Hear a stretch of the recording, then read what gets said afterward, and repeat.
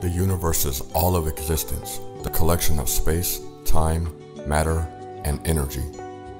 The universe is enormously vast, and ever since its origin some 13.8 billion years ago, it has been expanding which led to the carrying of distant regions apart at the speed of light. The universe consists of everything from the smallest atoms to the largest galaxy clusters and follows the basic laws of nature. All observable matter, which happens to be only a small percentage of the grand scheme of all matter, is built from subatomic blocks and the same fundamental forces govern all interactions between these elements. All known knowledge concerning these operating principles, from general relativity to quantum physics, both are due in future presentations, informs cosmologists that the universe is in flux.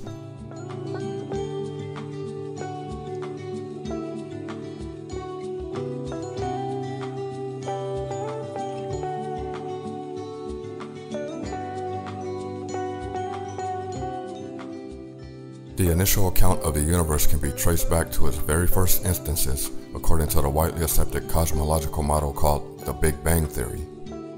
In the Big Bang model, the universe was once infinitely small, dense, and hot.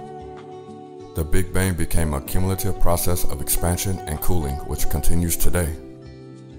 It was not an explosion of matter in space, but rather an expansion of matter itself, and in the beginning brought space into existence. The Big Bang model does not explain all of the features of the universe, and the model is continuously being refined by physicists and cosmologists when new information and discoveries are learned.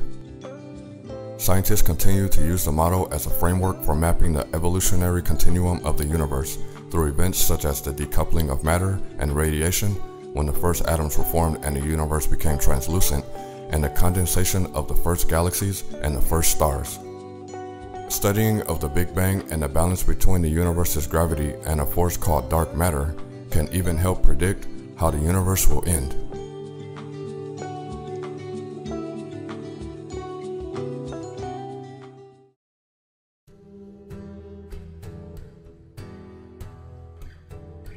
In the universe's initial moments, the universe was unimaginably hot, infinitely compact, and contained pure energy, which is known as a singularity.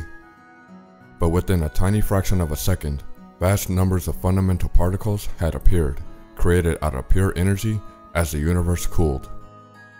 Within a few hundred thousand years, the particles combined to form the first atoms.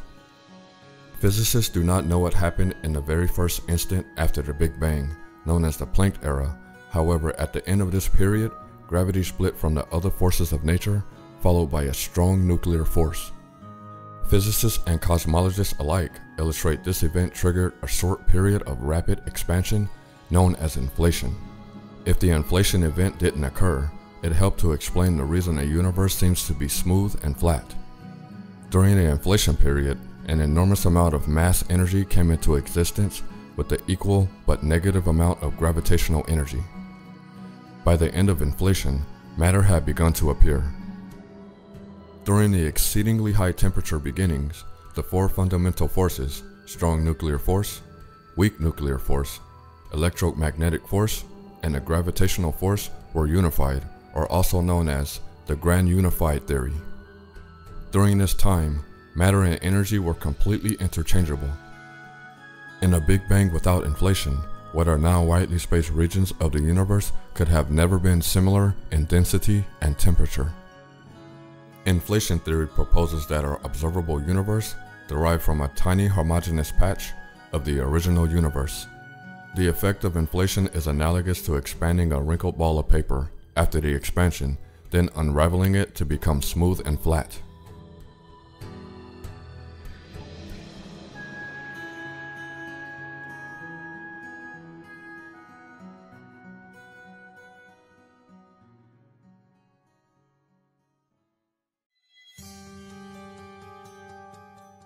About one millionth of a second after the Big Bang, the young universe was contained, in addition to vast quantities of radiant energy, or photons, a simmering particle soup of quarks, antiquarks, and gluons. These are the fundamental construction of all atoms. Also present were the class of fundamental particles called leptons, mainly electrons, neutrinos, and their antiparticles, forming from energy and then being annihilated back to energy. The stage was set for the next process of matter formation that led to our current universe. First, quarks and gluons met to make heavier particles particularly, and a smaller number of neutrons. Three minutes after the Big Bang, the neutrons combined with some protons to form atomic nuclei, mainly those of helium, called the nucleosynthesis era. In what's called the opaque era, the ocean of matter particles was in a continual state of interaction with photons, making the universe appear to be foggy. The remaining photons, destined to form the nuclei in hydrogen atoms, stayed uncombined. Finally, after half a million years, the universe cooled sufficiently for the electrons to combine with the free protons and helium nuclei, ultimately forming the first atoms. The photons were free to travel through the universe and most electrons was bound to atoms until the first stars formed, reheating matter in what's called the matter era.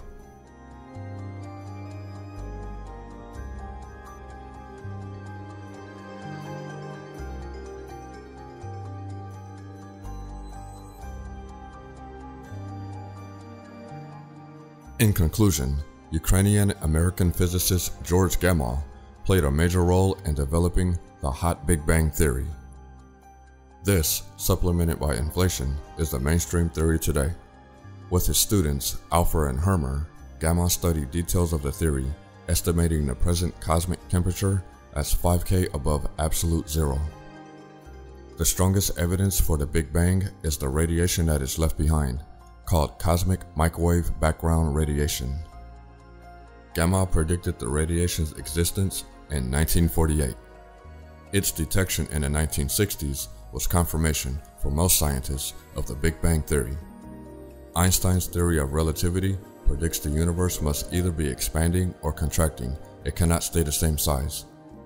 If the universe were both infinitely large and old, Earth would receive light from every part of the night sky and it would look bright, much brighter, even in the densest star field. The fact that it is not is called Olbers' paradox. The Big Bang resolves the paradox by proposing that the universe has not always existed.